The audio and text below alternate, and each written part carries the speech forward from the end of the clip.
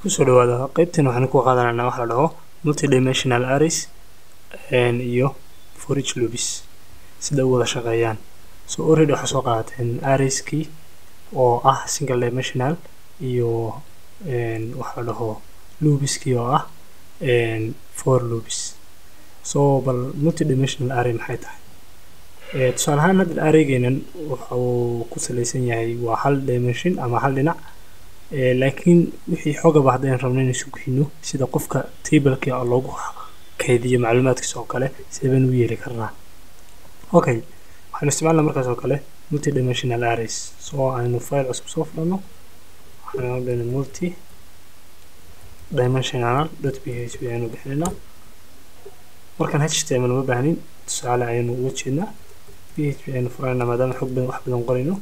Arrayskii caadiga ahaa aynu soo aragnay wuxuu ahaa inaad samaysid variable la dhaho array kabacdi array samaysid oo arrayda xogtiisa halka gelisid iyadoo weliba single dimensional ah oo waxaan kaloo isticmaali karnaa waxa la dhaho dictionary ama tables luqadaha kaloo yaqaaniin oo ah associative array dhexdii one ha la mid ahaado qofka magaciisa la dhaho hebel oo adigu kii u sheegtid in halkii ayadu kiida ka qaadan lahay zero.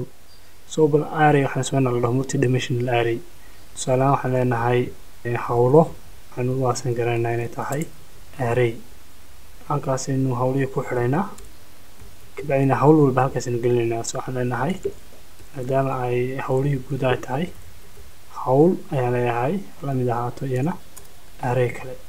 So howl walba xogteeda halkan aan gelinayaa hawsha koowaad halkaasay xogteeda gelaysaa hawshii labaadna halkaasay gelaysaa hakad unbaa udhexeeya hawsha saddexaadna halkaasay gelaysaa wax maaha weynoo lagu confusiyo sida arrayga u samaysay ayaad array kale u dhex gelaysaa so hawsha koowaad waxay leedahay tusaale ahaan i d. I d-geedu waxaanu ka dhigaynaa tusaale ahaan one. Titlekeeda maxaanu ka dhigaynaa shaqada koowaad waxaan leenahay ciwaan maxaa u ah aad iskuulka kale waxaan ku soo dari karnaa mid saddexaad oo ah is completed. Ma dhammaata completed tusaale ahaan shaqadan micnaha ma qabatay mise maadan qaban is completed hadda is baa aragtay meel ka horeysa waa inaad boolean u qaataa true ama false? Okay? Taas waa shaqadii koowaad. Shaqada labaad see u sameynaysaa weliba halkan waxaa udhexeeya sorry waxaa udhexeynayaa halkan baa udhexeynaya uma dhexeynayaan calaamadan lagu xidhayo uma dhexeynayaan. Okay? Shaqadii koowaad i d-geedu waa one shaqadii labaad ayaynu soo qaadan intaynu copy garaysanaynaa si waqtiga aynu uga faa'iidaysano oo same pattern bay raacayaan i d-geeda number two waa ka dhigaysaa waxaa dhahaynaa tusaale ahaan aad shaqada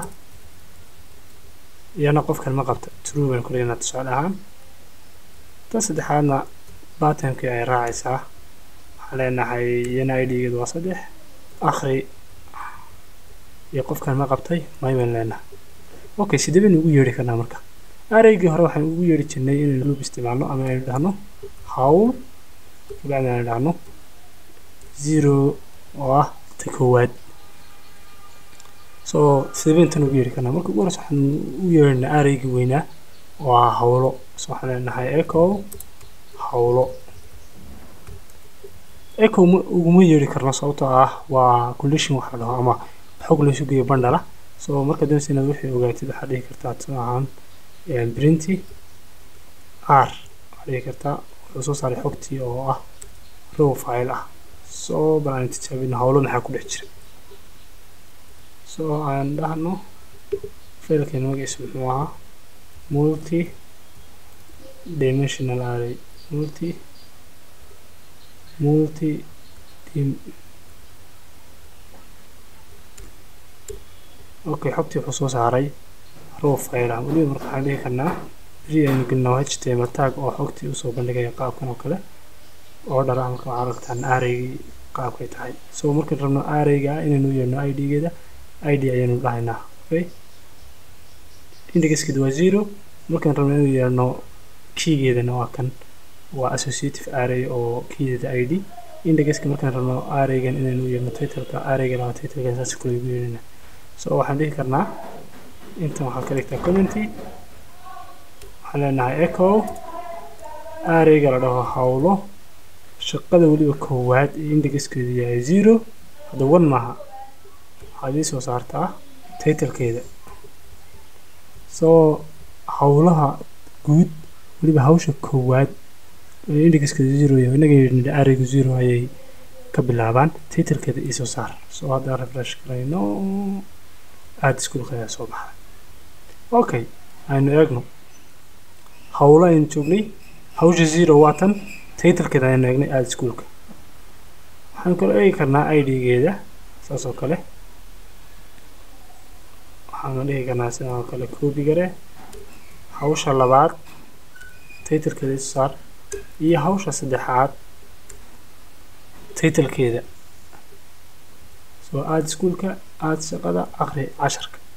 Soo arrayska saas oo soo baxaya. Waxaynu hadda halkan indexka u sheegayna waxa weeye waa associative array.